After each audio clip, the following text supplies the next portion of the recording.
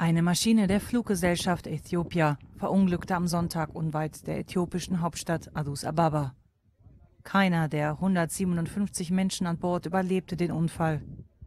Die hier sichtbare Absturzstelle befindet sich 62 Kilometer südwestlich von Addis Ababa.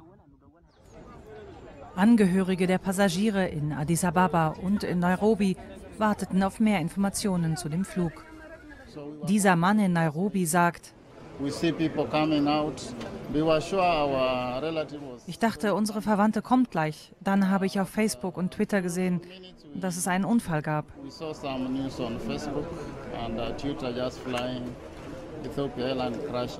Der Flieger war auf dem Weg in die kenianische Hauptstadt Nairobi gewesen und hatte wenige Minuten nach dem Start den Funkkontakt zum Kontrolltower verloren. Laut der Flugüberwachungswebsite Flightradar 24 schwankte die Geschwindigkeit während des Steigflugs. Der kenianische Verkehrsminister James Macharia sagte in Nairobi, mit 32 Opfern sei Kenia das am stärksten betroffene Land der Katastrophe.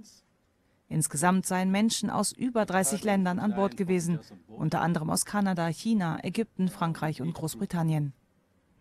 Der Typ des Flugzeugs Boeing 737 MAX 8 ist ein relativ neues Modell von Boeing und wurde erst seit 2017 in Dienst gestellt.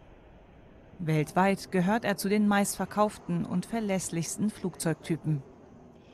Im Oktober 2018 war ein Flugzeug diesen Typs von Lion Air kurz nach dem Start im indonesischen Jakarta ins Meer gestürzt.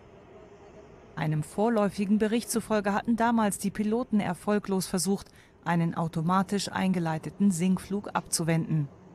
Ethiopian Airlines gehört mit einer Flotte von 108 Flugzeugen zu den größten Airlines Afrikas und zum Verbund der von der Lufthansa mitgegründeten Star Alliance.